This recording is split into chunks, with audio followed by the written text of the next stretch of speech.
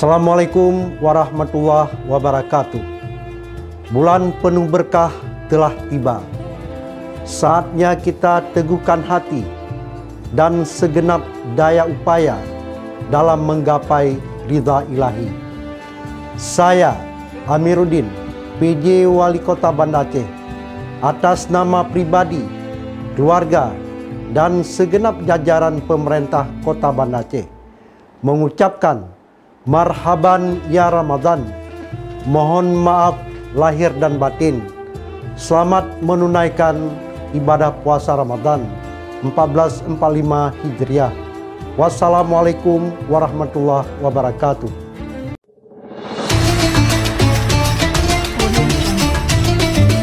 Yang terpenting agar APBA ini bisa dicairkan sejak awal tahun sehingga mampu mendorong geliat perekonomian masyarakat. Itu yang diharapkan.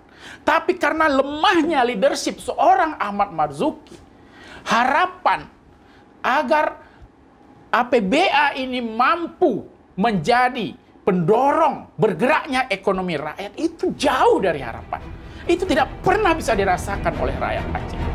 Makanya saya dari dulu ber, berteriak ya, Ahmad Marzuki ini harus dicopot.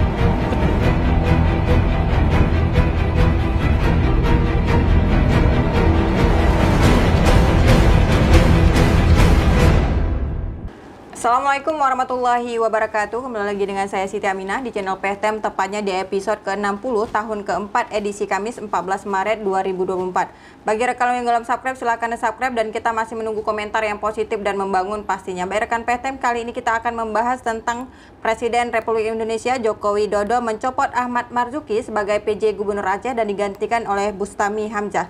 Dan kita ketahui Marzuki ditunjuk sebagai PJ Gubernur Aceh pada Juli 2022, jabatan kembali diperpanjang 6 Juli 2023. Kabar pergantian PJ Gubernur berhembus di kalangan e, masyarakat kita di tengah polemik pengesahan APBA 2004 yang hingga kini belum ada titik temu antara pemerintah Aceh dan juga DPR Aceh.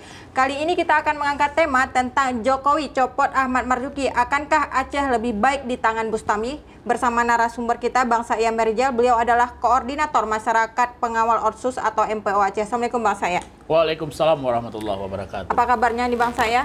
Alhamdulillah sehat. Terima kasih di tengah kesibukannya untuk melihat bagaimana suara-suara di lapangan. Tapi hari ini tetap uh, mengkritik ya atau melihat fenomena sosial yang ada di masyarakat Aceh hari ini, Bang. Ini tema kita Jokowi copot Ahmad Marzuki. Akankah Aceh lebih baik di tangan Bustami? Tapi ada kesan ini. Sepertinya uh, dicopot tanpa alasan. Atau seperti apa nih Bang saya? Ya, saya pikir uh, apa namanya ya penunjukan dan pergantian PJ Gubernur ya PJ atau PJ Kepala Daerah baik itu Gubernur maupun Bupati Wali Kota memang uh, dalam hal ini merupakan bisa dikatakan ya walaupun dalam undang-undang tidak disebutkan tapi bisa dikatakan sebagai hak prerogatif presiden melalui Menteri Dalam Negeri. Uh, begitu juga dengan uh, Bupati Wali Kota ya Uh, saya pikir ada banyak pertimbangan di sana, baik itu pertimbangan objektif maupun pertimbangan subjektif. Uh, tetapi kita mungkin juga ada beberapa alasan, ya kita tahu uh, mungkin ada alasan soal kinerja, ada alasan politis dan sebagainya. Uh, terkait dengan pencopotan ini, ya kita uh, merespon, ya masyarakat, rakyat Aceh melihat bahwa ini adalah apa namanya sebagai respon Presiden Jokowi terhadap tuntutan rakyat Aceh.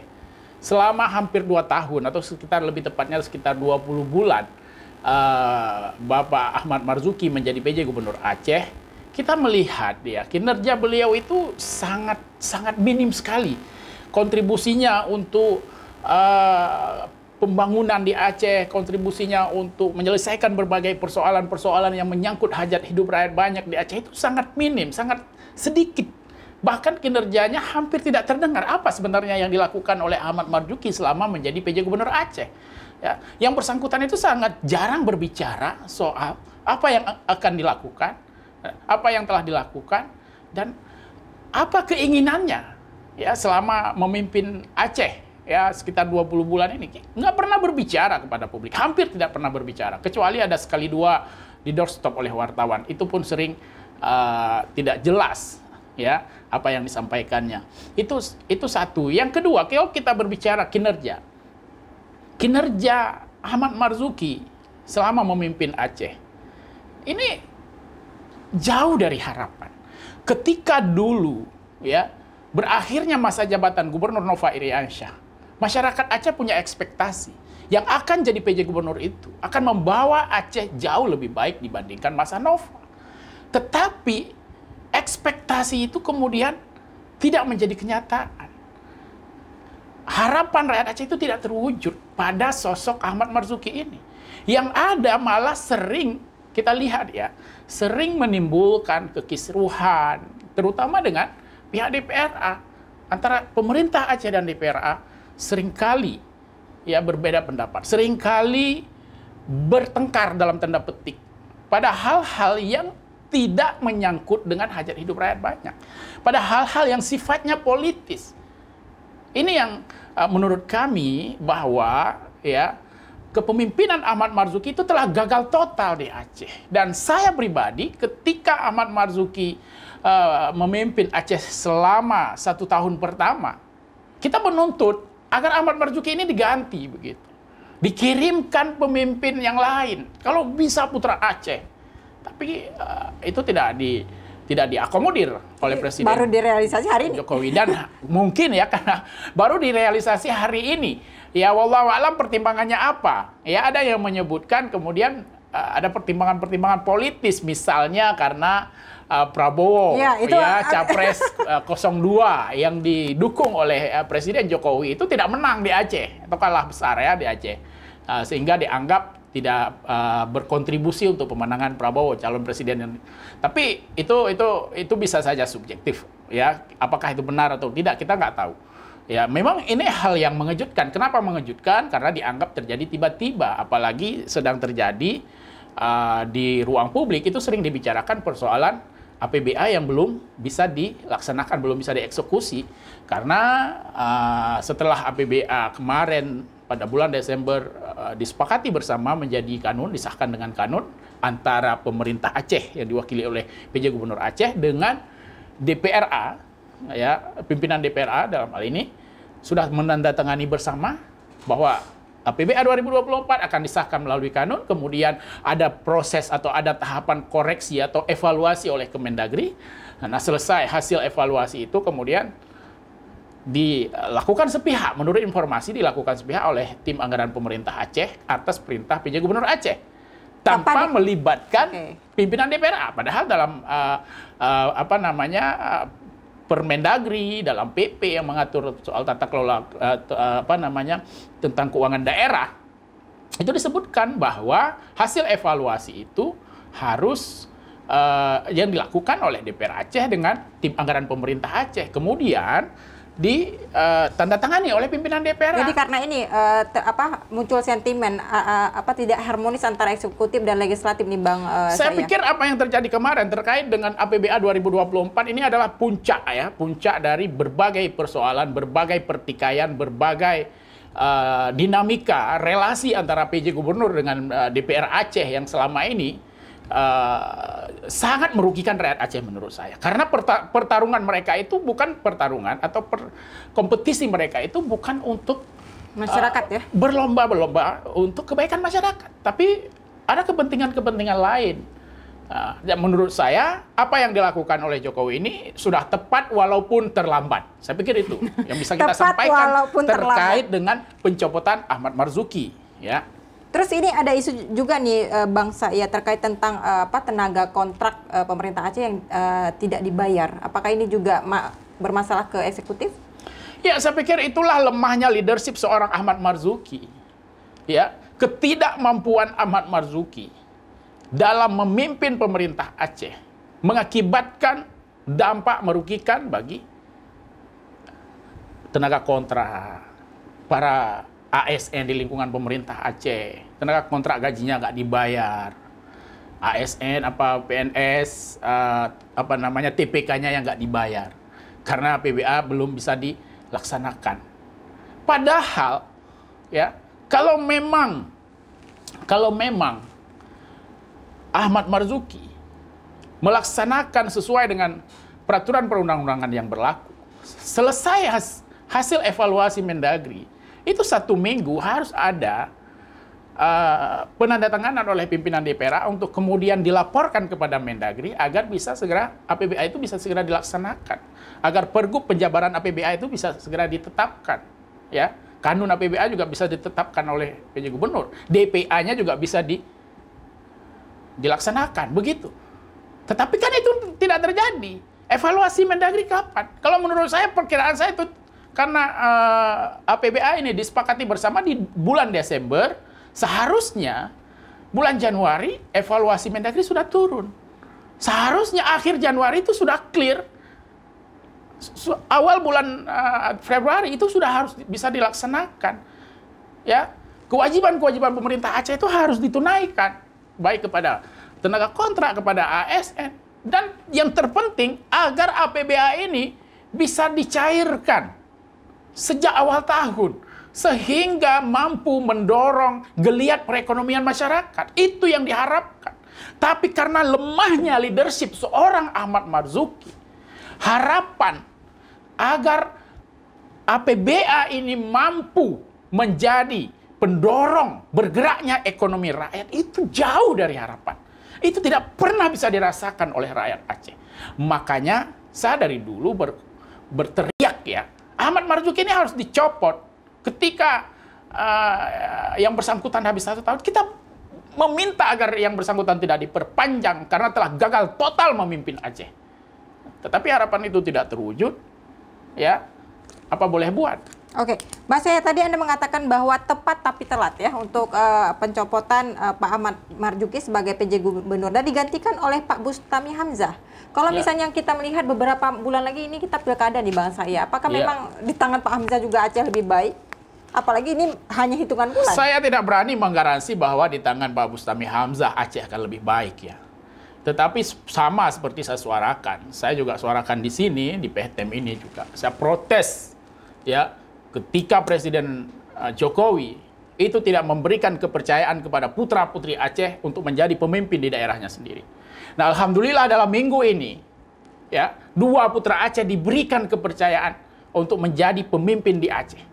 Ada Pangdam Iskandar Muda yang ter putra Aceh, kelahiran Banda Aceh. Yang kedua, kemudian PJ Gubernur Aceh, Bapak uh, Bustami Hamzah. Ya. Jadi ada harapan kita agar pemerintah pusat, pemerintah negara kesatuan Republik Indonesia memberikan kesempatan, memberikan kepercayaan kepada putra-putri Aceh, kemudian sudah terwujud sebagian. Ya, itu Walaupun satu. itu nggak lebih baik. Nah, kita belum bisa memfonis nggak lebih baik.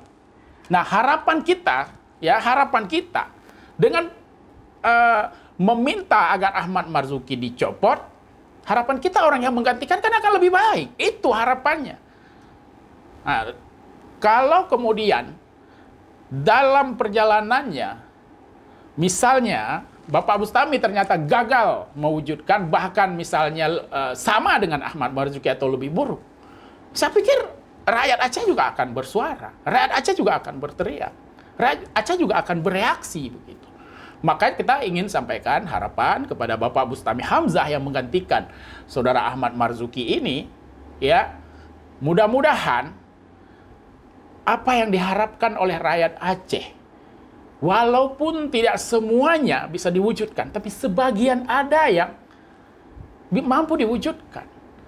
Sekarang paling miris di Aceh ini persoalan ekonomi. Ekonomi rakyat sedang terpuruk.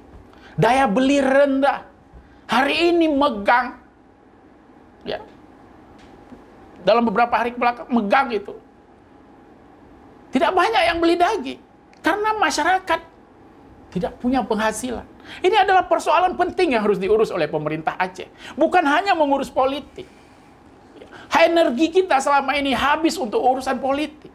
Sementara urusan yang menyangkut hajat hidup rakyat tidak pernah diurus secara serius oleh pemerintah Aceh.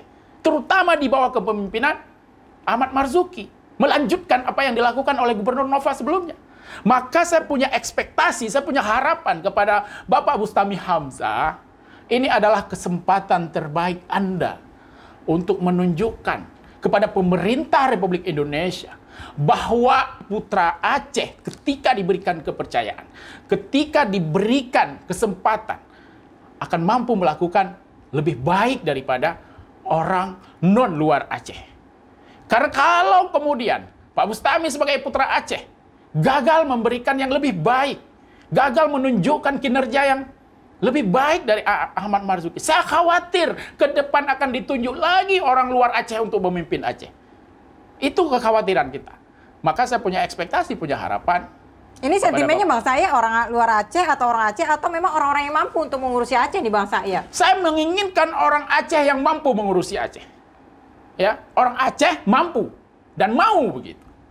Saya pikir tanggung jawab moral orang Aceh itu akan lebih tinggi dibandingkan orang luar Aceh. Mereka hanya numpang lewat di sini, kayak Aman Marzuki. 20 bulan di sini apa yang dilakukannya? Sekarang dia balik kampung. Apakah dia ada beban moral meninggalkan Aceh dalam kondisi terpuruk? Tidak ada. Bukan kampung halamannya, bukan tanah kelahirannya.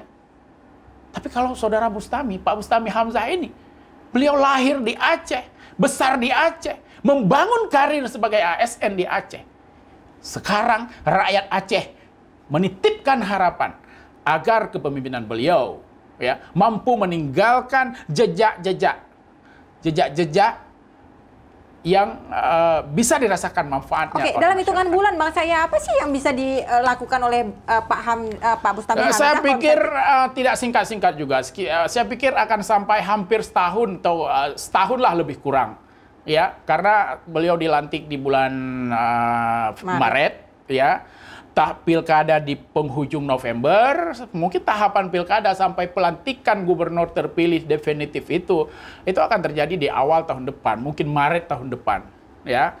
Dalam waktu satu tahun, apalagi uh, APBA tahun 2024 itu sama sekali belum dieksekusi. Artinya di tangan beliau 11 triliun APBA yang telah disepakati bersama antara pemerintah Aceh dan DPR Aceh ini akan kita lihat digunakan untuk apa. Apakah APBA ini akan bermanfaat untuk rakyat Aceh atau hanya akan menjadi bancakan oleh oknum-oknum pejabat di pemerintah Aceh dan di DPR Aceh. Kita lihat kepemimpinan Bapak uh, Bustami Artinya, ke depan. skala prioritasnya ketika sudah dilantik apa dulu nih Bang saya? Apakah pengesahan APBA atau Iya, saya pikir APBA itu sudah disahkan.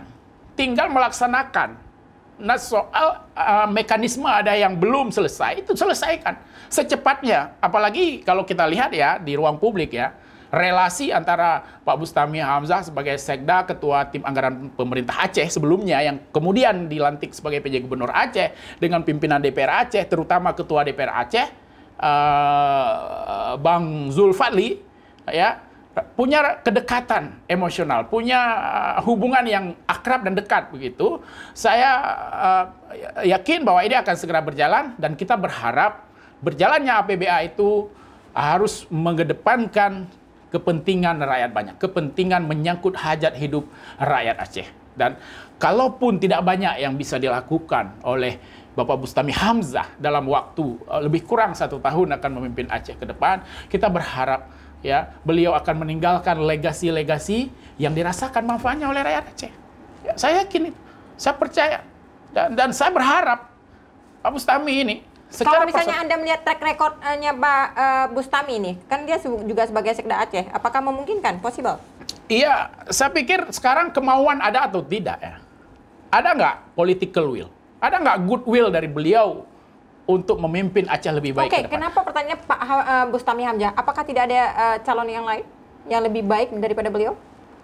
Saya pikir itu kewenangan Presiden Jokowi. Tapi ya, kan itu diajukan juga kan sama... Uh, kan nggak ada pengajuan ini. Yang ada pengajuan kan kemarin ketika satu tahun Ahmad Marzuki uh, selesai. Yeah. Diusulkan kembali, melibatkan DPR Aceh, diusulkan yeah. oleh DPR Aceh, diusulkan oleh Mendagri. Tapi ini kan tiba-tiba, artinya memang Ahmad Marzuki statusnya dicopot begitu.